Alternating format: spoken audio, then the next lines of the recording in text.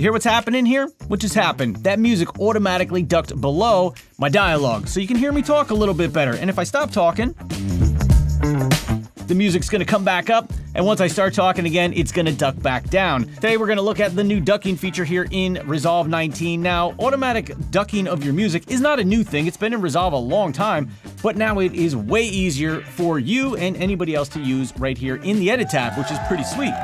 So I do want to show you exactly how to use it and the pros to using it, as well as a few things that are kind of cons. I'm not going to say bad, because it's just things you need to be aware of while you're working with the new tool here in Resolve 19. So let's just jump in Resolve and check this out. In DaVinci Resolve here, let's take a look at where we can find the new ducking tool. So it is a track level effect, so we need to apply it on an entire track, and you're going to want to apply it onto your music track. So in my timeline here, I've got my talking head that you just saw. I've got a music track below that, and in order to turn on this effect, I'm going to want to go ahead and open up my inspector at the top right, and we can make our inspector a little bigger by clicking this little icon. The next thing you need to do is actually select your music track. So I'm going to come down here, I'm just going to click on my music track, and now we see my track level effects come up right here. Voice isolation, dialogue leveler, dialogue separator, music remixer, and right here we have the ducker. So if I were to just play this through before turning on the ducker, you're going to see our levels for our music are quite loud, and when I start talking, it's going to be too loud and overpower my voice. This is what it sounds like.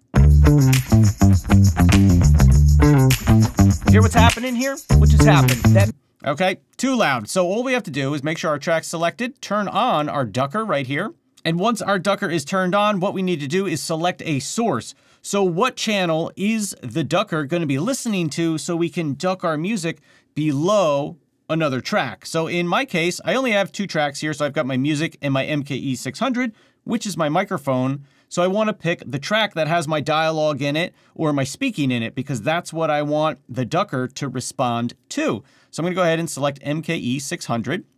Now below that we have duck level. So that says how much am I going to lower the volume once I detect that there's dialogue and we should lower the music. By default, it's at 2.7, which isn't going to make much of a difference.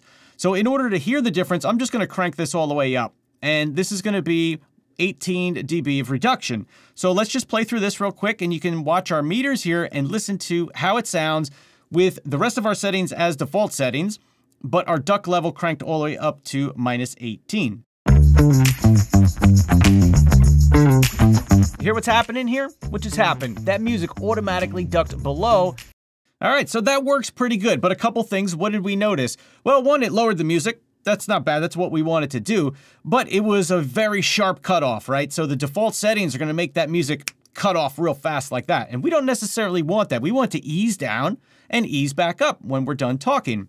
So that's the first thing we want to take care of. And in order to correct that, we want to come back into our mixer and we have our advanced settings right here. So you can use the tools right here if you want, or you can use this to pop out the little menu here with essentially the exact same things. Instead of sliders, you've got dials.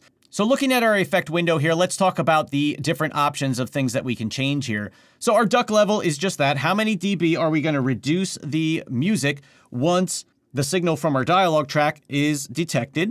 The look ahead says how far ahead in the timeline should I look while I'm playing the video in order to prepare and get ready to drop down or duck the music once I hear that dialogue. So by default, it's 15 milliseconds. I find I like to crank that up just a little bit so it looks ahead a little bit farther. I'll just set it around 100.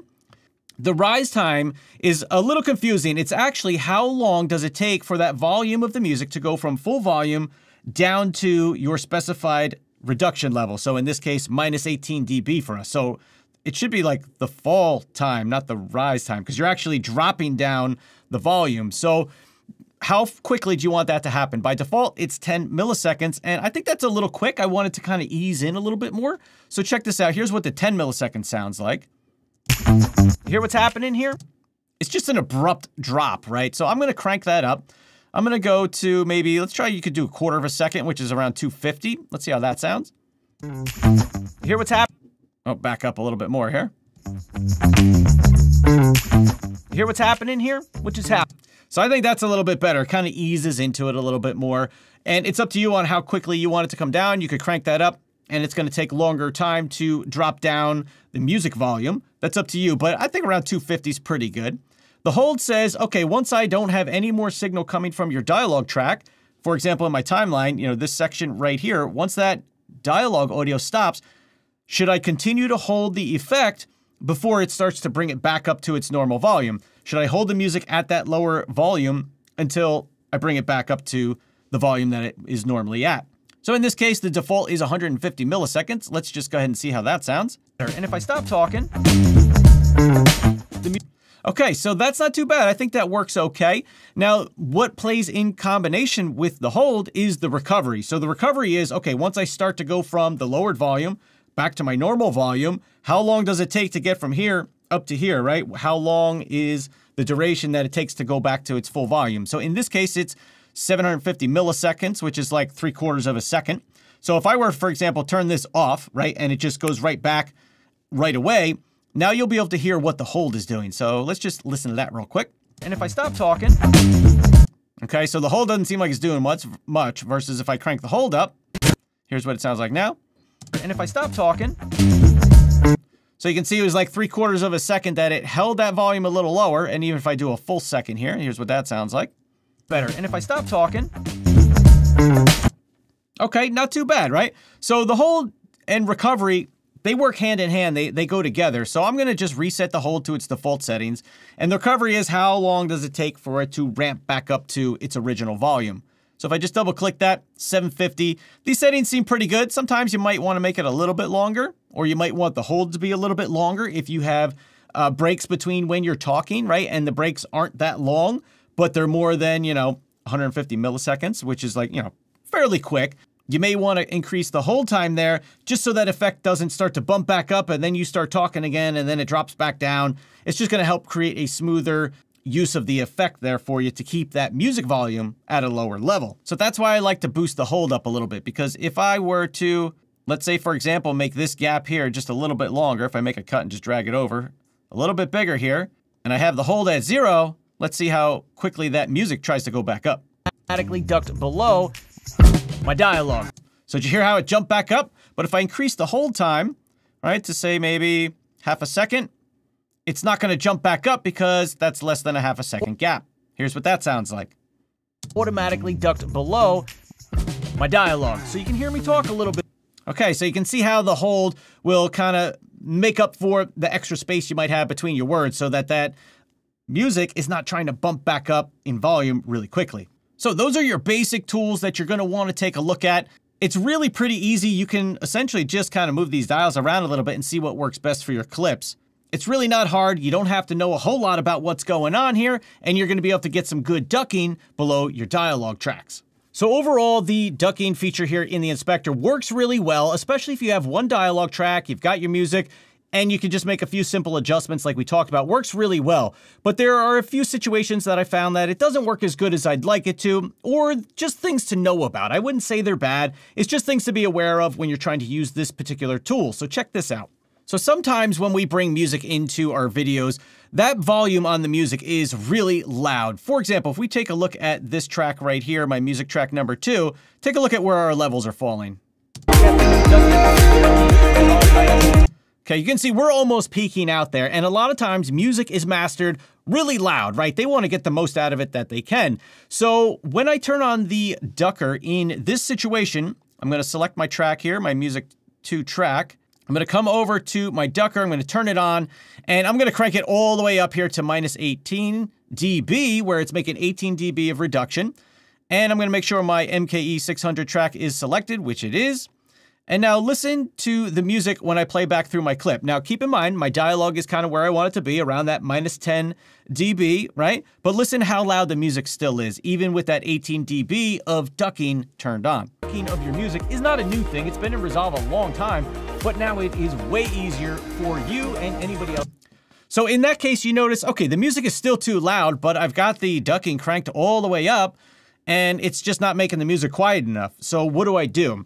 So in this case, what I would recommend that you do is actually come to your music track and on the clip itself, using either, well, either the clip itself or the fader, you want to lower the volume of the music itself, right? So I like to do it on the clip. I'm going to find that gain line and then just drag it down maybe 5 dB or so. and then I'm going to try it again and see how it works. So the ducker's still turned on, it's still dropping at 8 dB, but our starting point for the music isn't quite as loud as the original there. So here's what that sounds like. Now, automatic ducking of your music is not a new thing. It's been in Resolve a long time, but now it is. So we can see it's a little bit better. It's maybe around minus 25 dB there or so. And let's say if I just uh, move over this part, let's extend out our music track so we can, oh, so we can hear how loud it gets once I stop talking. Else to use right here in the edit tab, which is pretty sweet. So even still, it's getting up to, you know, almost minus 5 dB, which in general, I think that's a little bit loud, at least for my kinds of videos and stuff. So I'm going to lower that back a little bit more. If you hold your shift key, you can be a little more precise there as you lower the volume. So let's say minus 8 dB. And again, on my track, if I click on my track level, the ducking is still at minus 18. And let's see how that sounds. And anybody else to use right here in the edit tab, which is pretty sweet. So I think that's sounding pretty better. Now it does come up a little quick, so I might want to make my recovery a little bit longer there. Now let's say, for example, I lowered it quite a bit. Let's say it's minus 15 dB. If I select my track again, looking at my ducker here, maybe now minus 18 is too much to drop it down by. Let's listen and watch our levels over here. Easier for you and anybody else to use right here in the edit tab, which is so those are a little quiet, say, maybe I want to boost it back up. I can just change my duck level right here.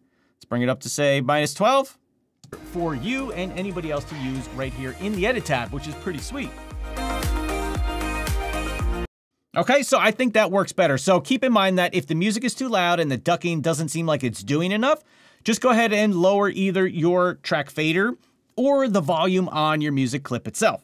So that's the first thing I think is important to know is that if it's just not working out right, doesn't sound like it's doing what you want it to do, drop the volume back on that clip a little bit. You can make some adjustments to your duck level there, and uh, then you should be good to go as far as the ducking is concerned. Now, the other thing that I think is really important that you guys know about is that the auto ducking feature can only respond to one dialogue track. Now, I think this is kind of a big deal only because a lot of times when we're working in videos, unless it's just one person in the video, we've got multiple tracks of dialogue. So the ducker will only respond to one dialogue track. Let me show you what I mean.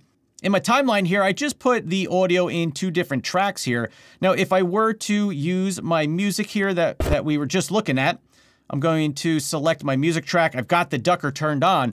Now, when it comes to source, I can only select one source. And as you notice, I think this is a beta thing that the track names don't update like perfectly sometimes. So I think that's just a beta thing. And if I restart Resolve, it'll all come up just fine. But you can only select one source. So I can only pick one, and if I only have one source selected, here's what it sounds like. It's going to respond to track one here, but not to track two. So listen what happens. Ducking feature here in Resolve 19. Now, automatic ducking of your music is not a new thing. It's been in Resolve a long time, but now it is way easier. So you can see it's only responding to the one track. So I think that's a little tricky uh, because I'm not going to have my music in multiple tracks where I can use the track level effect on, you know, multiple tracks. That doesn't make sense. But there's a lot of times that I've got dialogue in multiple tracks. And if I want that music to respond to the dialogue, this isn't going to do that for me. You'd have to go and do it the old school way, I'm going to call it, where you jump into Fairlight, you use the dynamics panel, and then we can have the automatic ducking applied and respond to any uh, number of dialogue tracks or any other track that we want. And you can have as many of them as you want as well uh, that the music will respond to. Whereas the Ducker here in the Inspector, you can only have it respond to one track. So that's just something to be aware of. It's not a deal breaker or anything. I think it's just something that you need to know and understand, especially if you have multiple people, multiple tracks, and you want that music to respond to uh, multiple tracks. The Ducker in the Inspector here is not going to do that for you. So that is the new Ducker here in DaVinci Resolve 19, guys. It's a great tool, makes it really quick and easy, especially if you just got that one dialogue track that you want to have your music respond to. Works out perfect, but do keep in mind that if you've got multiple dialogue tracks, you're going to have to do it the old school way, I'm going to say, and uh, jump in and use the dynamics panel send out your dialogue channels, and then have those music channels listen, and it's still going to do the automatic ducking. Same thing that it's doing here. It just takes a little bit more work, and you got to understand what's going on a little bit more. But in general, the auto ducking here in DaVinci Resolve 19 Beta to do a great job for you. Really cool. I use it often. I've been using it a bunch already, especially when I just have one dialogue track.